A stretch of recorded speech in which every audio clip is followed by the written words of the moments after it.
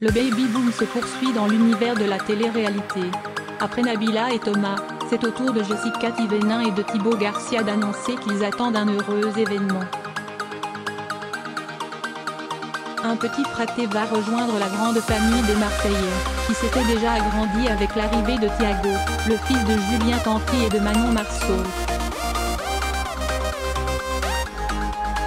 La jeune femme a annoncé l'heureuse nouvelle sur son compte Instagram.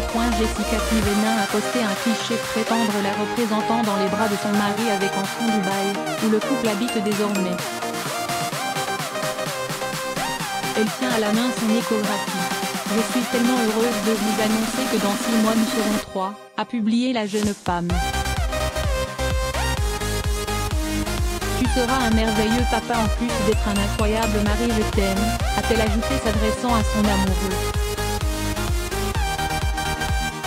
De son côté, Thibaut Garcia a également partagé l'heureuse nouvelle sur le réseau social avec une photo quasi identique, où il pose la main sur le ventre de sa compagne, et le texte suivant, très heureux et fier de vous annoncer que mon épouse et moi attendons un heureux événement pour fin 2019.